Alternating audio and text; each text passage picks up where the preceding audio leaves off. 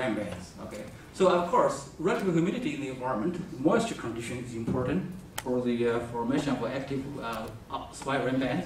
The second is the size of the initial tropical uh, cyclone disturbance, because the initial the size or wind distribution determines the surface flux of the, uh, and also the uh, the uh, velocity, the velocity distribution, radar distribution of the velocity.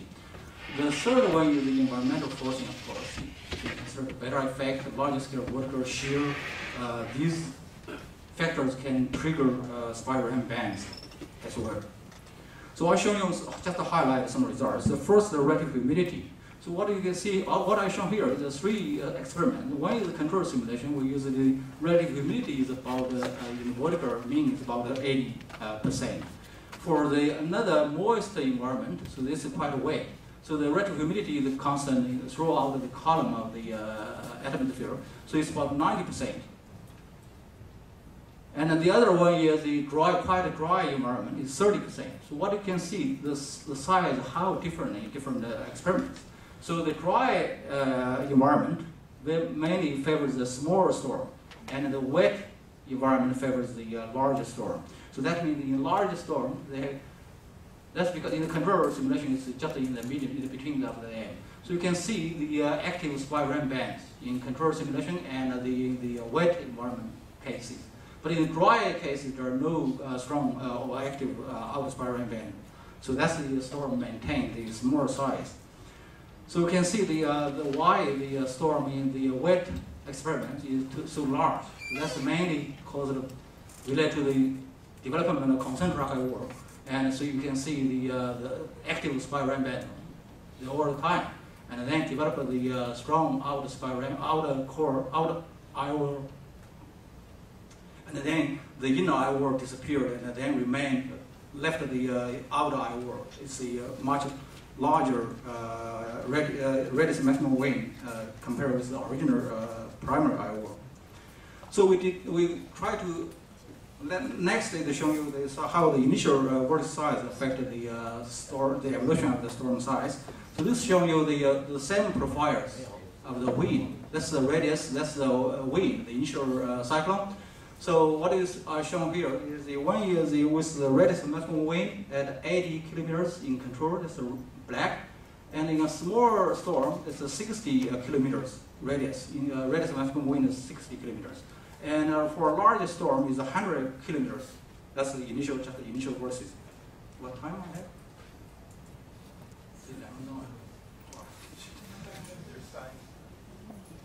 Oh, they're there. Okay, sorry for that.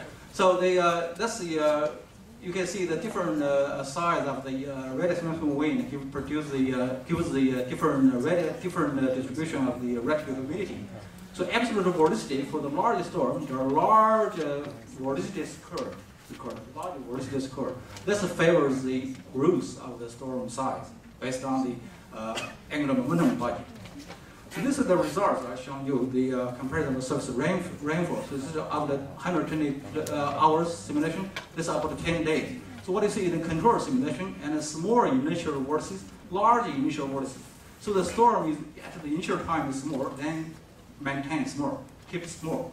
But the small, the, the large storm increase with time uh, continuously. That's the uh, that's showing you the the radius of the uh, damaging wind change with time, with time. So you can see the small storm grows very slowly, but the uh, large storm grows much faster. So we also look at the, uh, the, the, effect of the outer wind fields. So this is the outer wind fields. So the three cases are showing you how the change the storm the side. So they for the for the three storms, 90 hours and about 10 days. So this is the storm. The, the three storms have the same radius maximum wind at the initial time. But one is with the, uh, the wind decrease slowly with, uh, with radius. Okay. One minute. Okay. So then uh, you can see the storm size change is quite different differently. So this is the uh, radius of uh, damaging wind as well. So the increase with time and remains small.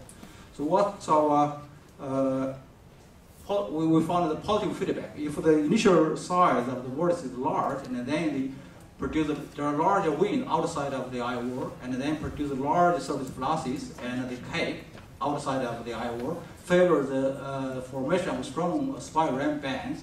So this spiral bands drive the uh, inner one layer inflow and then through the uh, brings the uh, more angular momentum inward. So that's the cause the outer expansion of the tangential wind and also the increase of the storm size.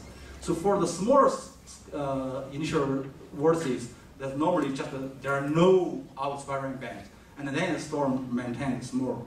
Okay, I just uh, stop here, and that's just a mechanism I just highlight here. Thank you for your attention. I think we have time for. Who, me or? Simply pointing to someone else. Oh, you already Okay. have. Well, just real quick. So you're, you're talking, of, you're discussing a lot of dynamics here in the outer core regions along the periphery of the storm. Um, to what extent is the, what you're calling the growth in the size of the storm driven by these outer core dynamics? And how much of it is simply driven by the fact that the storm is intensifying in the inner core?